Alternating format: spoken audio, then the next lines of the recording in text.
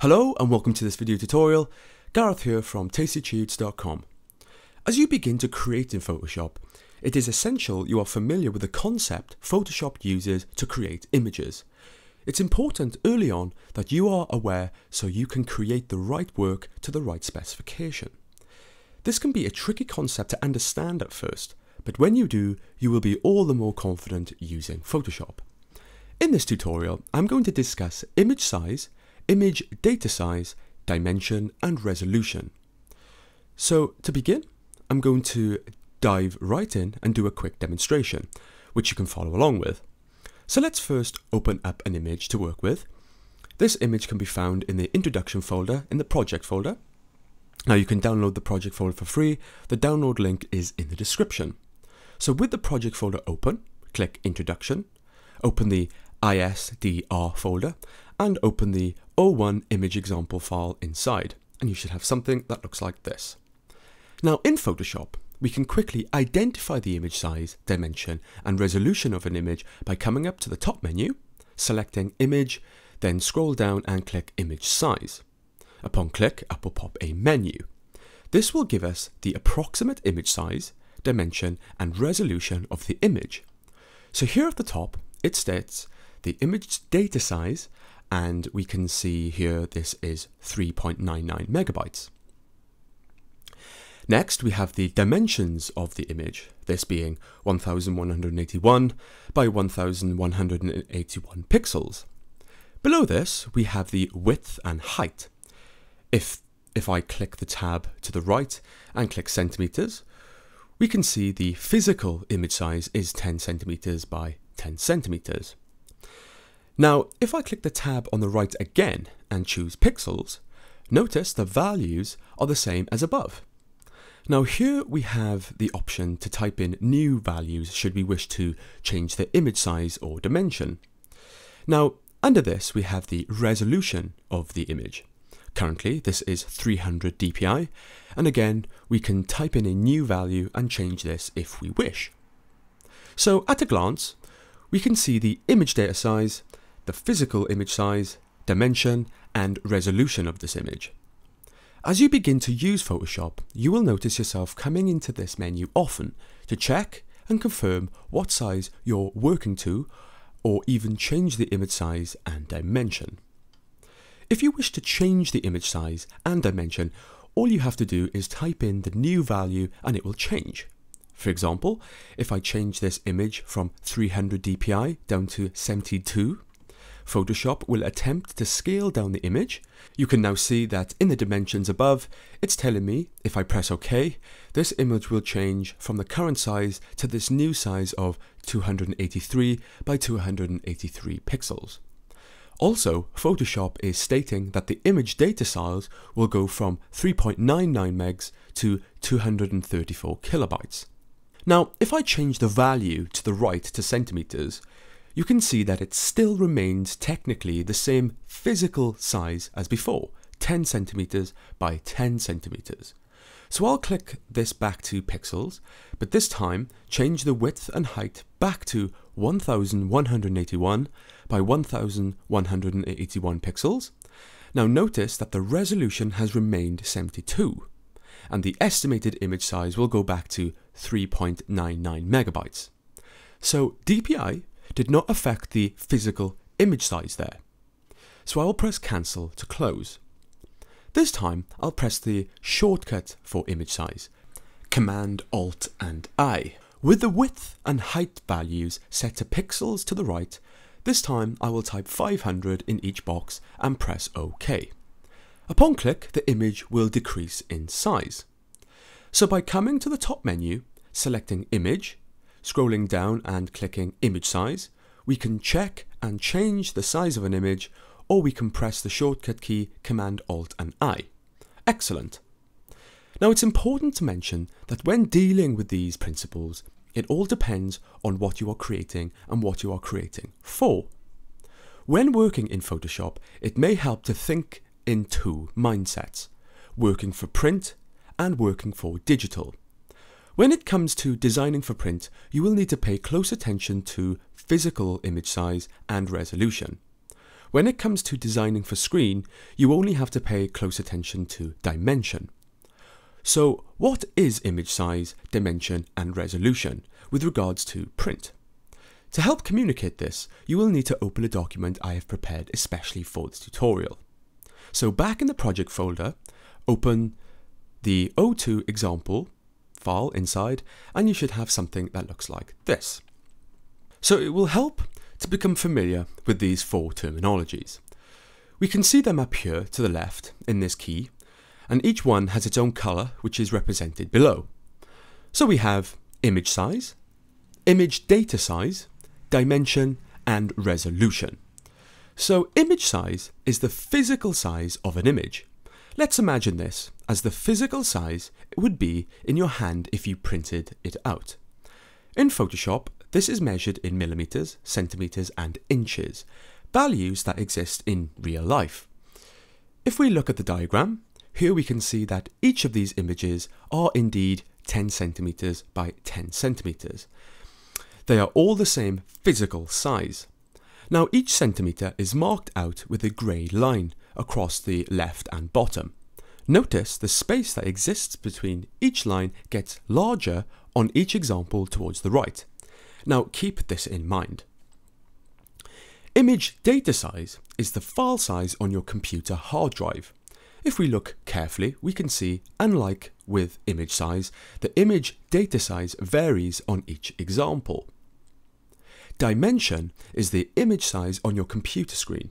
In Photoshop, this is also measured in millimeters, centimeters and inches, but also, importantly, pixels.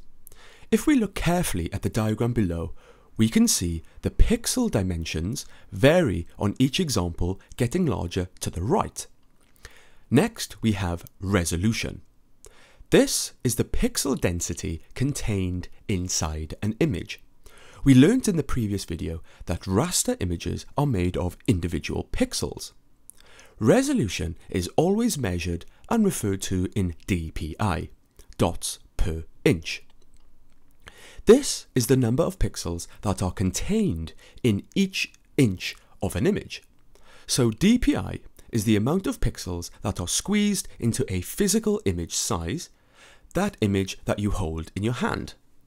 If we look at the diagram below, we can see the various DPI applied to each example. The bigger the DPI, the bigger the pixel dimension.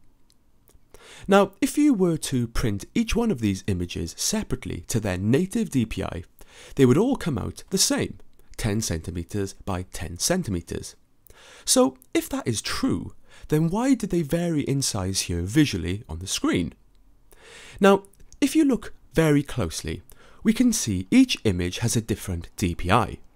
It's the DPI, the resolution, that will determine the pixel density. The larger the pixel density, the more pixels will make up an image, thus the larger the pixel dimensions will be.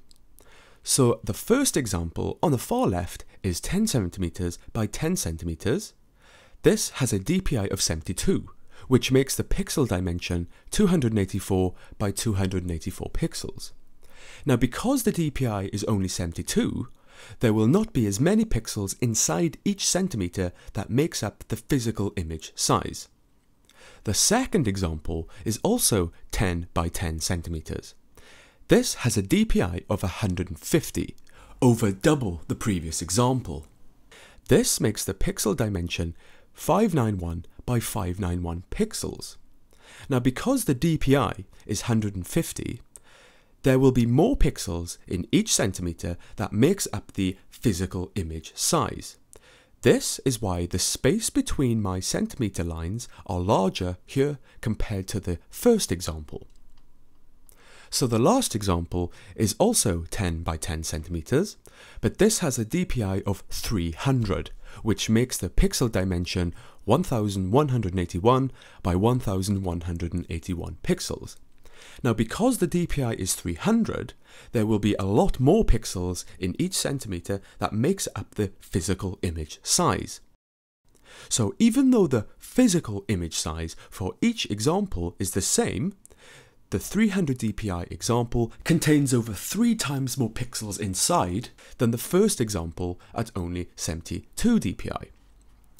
Now, what you will find is if you printed all these images off, the image at 300 dpi will be higher quality, and that is because there are simply more pixels making up the image. The image at 300 dpi has a greater pixel density than the image at 72, allowing for more detail. So the image, in theory, is the same size, but the 300 dpi has more pixels inside the image, allowing for more detail. A good example of this is with new generations of digital cameras.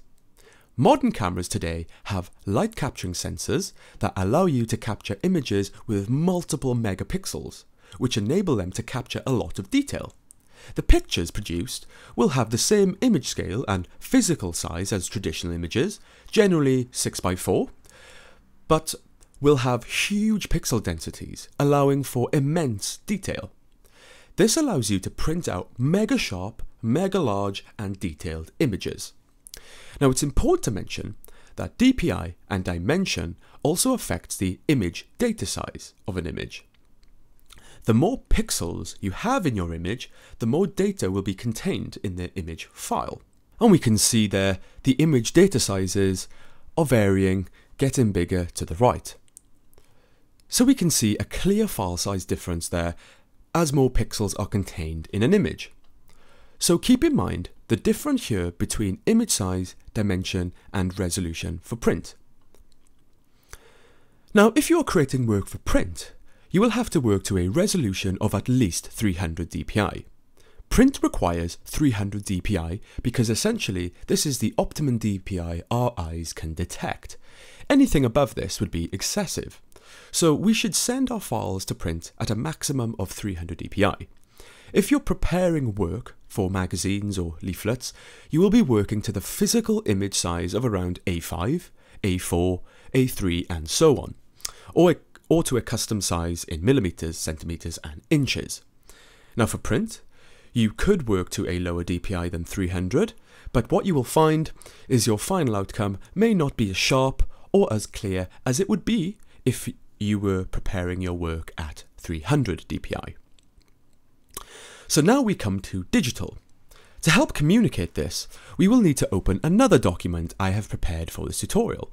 So back in the project folder, this time open the O3 digital example file inside and you should have something that looks like this. Now, when creating artwork and graphics for screen-based media, it is actually irrelevant which resolution you work to. When creating media for digital, it's all about the dimensions. If you're creating graphics for websites, video or mobile devices, you will have to work to a specific pixel dimension. In this example, I have three images. Each of these are set at the same dimension but have different DPIs. We can see here that the DPI does not affect the outcome of the visual image screen size. Since this is for screen, and raster images are made of pixels, it's only the dimension of the pixels that will determine the image size outcome on the screen. If we are preparing work for screen, we should always request the dimensions and work to pixels.